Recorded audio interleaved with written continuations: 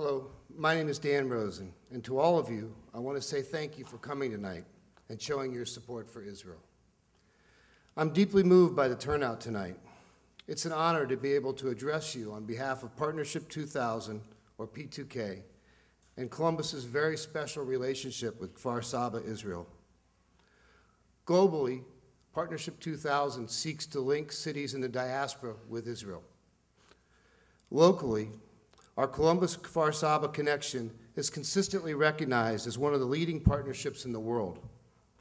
Over the past six years, more than 5,000 people in both cities have been directly impacted. We have participated in programs as varied as teen exchanges, dental missions, funding Ethiopian youth and cultural centers, helping to provide hot meals and mentoring for disadvantaged youth.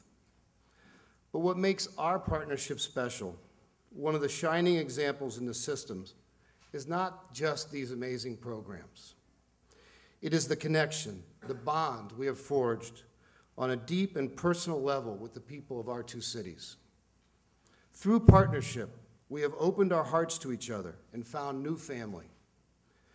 Just as family is there for each other during good times, we have also been there and will continue to be there for each other during the darkest hours.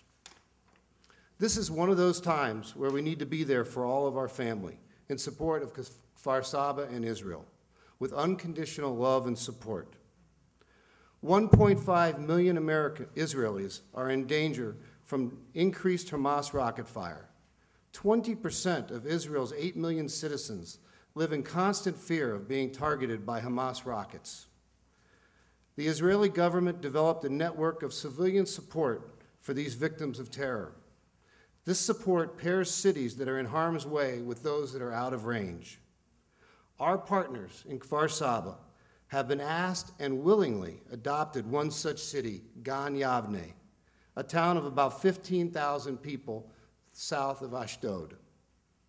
Every day, every day of the week, since the bombing began, over 100 children, young adults, and elderly are bused from Gan Yavne to Kfar Saba to temporarily escape from the constant horrors of the missile strikes.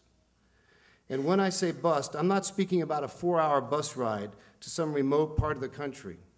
Israel is so small and Kfar Saba is so close to the impact zone that the entire trip from Gan to Kfar Saba takes only about 45 minutes, and that includes dealing with Tel Aviv traffic. The impact zone day to day life has been horribly altered. Schools, movie theaters, care for the elderly, most shops, and just about all public gathering places are closed. Life is ruled by the sounds of sirens and the never ending fear caused by the red alert. Once the children arrive in Kfar Saba, the immense task of providing food, entertainment, remote schooling, counseling, and other service, social services to over a thousand new faces a week falls into the hands of our partners. Kfar Saba has mobilized with lightning speed. The, sitting, the city swimming pools have been opened, entertainment arranged, free tickets to the cinema, impromptu classrooms, and daycare are provided every day.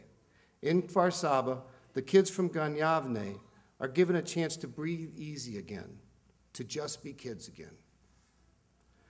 Our Columbus dollars, raised as part of the annual campaign and allocated to Israel funds, provide critical support for programs that are being pressed well beyond their limits in helping these families that are seeking respite in Kfar Saba. The programs that include the Neta teens that are, that are providing computer help and those that need to reach computers that have been shut down, Acharai participants in Kfar Saba who are once themselves risk, youth at risk are leading sports games for young children.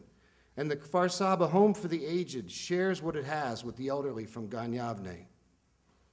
We have one local connection already on the ground in Kfar Saba helping out. Hillel Meyer, a teacher from Columbus Torah Academy, is standing in for a teacher who's been called up for active duty while Hillel is in Israel.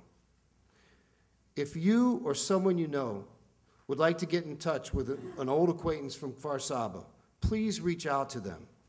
Your well wishes are the best medicine.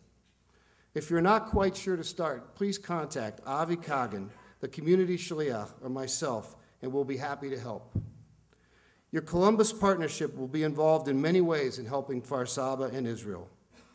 Please visit the Federation's website for daily updates, www.jewishcolumbus.org, about our efforts in Kfar Saba and more specifics for how you can get involved in these efforts.